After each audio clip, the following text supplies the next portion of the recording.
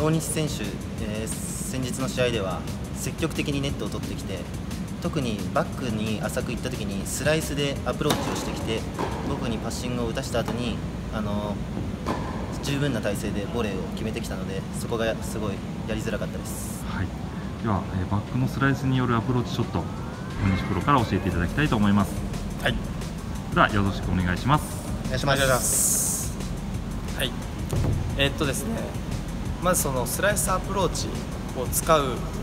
えー、メリットっていうのが僕の中で4つあるんですけれどもまず1つが、えー、スライスを使うことによって時間を稼げるっていうのがまず1つ。で2つ目が、えー、スライスを使うことによって相手に低いところで取らすことができる、え、3つ目が、え、スライスを使うことによって、え、相手に差し込むことができる。ちょっとボール滑らせることができるので差し込むことができる。4つ目がスライスを使う使うことでボールを前後に使えます、えー、前後に使えるっていうのはストロークだとどうしても、えー、前後の内訳が僕の中では難しいんですけれどもスライスを使うことによって、えー、深いとこと浅いところに打つのが結構僕の中ではスライスは簡単に、え出し入れできるのでそれで使うようにしてます。スライスは結局ネットで最終的にポイントを取ることが大事なのでそのよこの4つはネットプレーでポイントを取るために結構重要になってくるんですけれども、えー、ネットプレーっていうのはまず1つがポジショニングともう1つが、えー、コースを読むっていうことなんですけれどもこの2つ目のコースを読むっていうのは自分が打つボールによって相手に誘う打たせるようにしてます、え、どういうことかというと例えば低く打たせることによってやっぱりどうしてもネットのどうしても下からあの持ち上げるのでストレートに打つとどうしてもリスクが高いのでクロスに打ちやすいだとか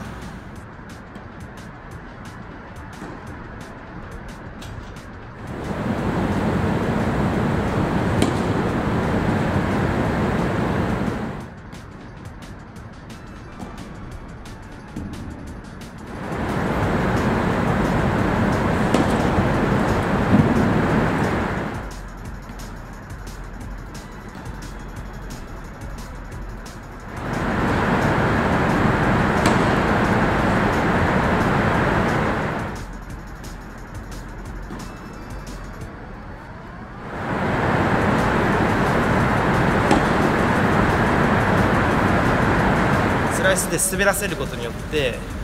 詰まってクロスに打ちにくくしてストレートに誘うだとか、えー、浅い球を打ってこ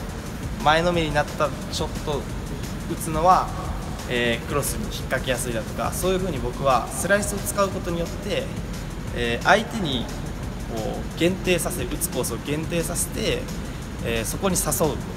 えスライスは使ってますアプローチを使ってます。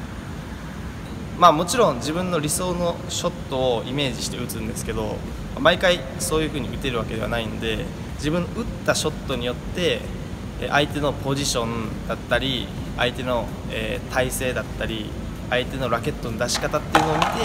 自分がどこにポジションを取るのかっていうのを考えて、え、動いています。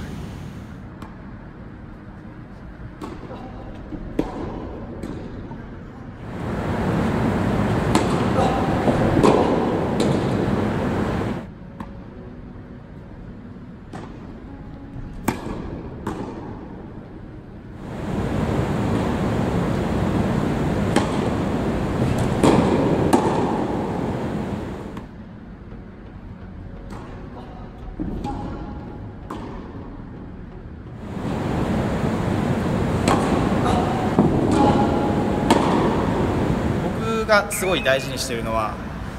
えー、インパクトの形なんですけれども、えー、まここの手首の角度っていうのを僕はすごい意識してて、まこの画面を通してしかちょっとお伝えできないんですけど僕はこういう角度を意識しててでこの角度をテイクバックから、え、フォロースルーまで変えないです。これが僕はスライスを打つコツだと思ってます。というのも、えーまあテイクバックはそんなに変わらない方が多いんですけどフォロースルーの時にここで当たって結構こうラケットヘッドが手首が折れちゃったりあと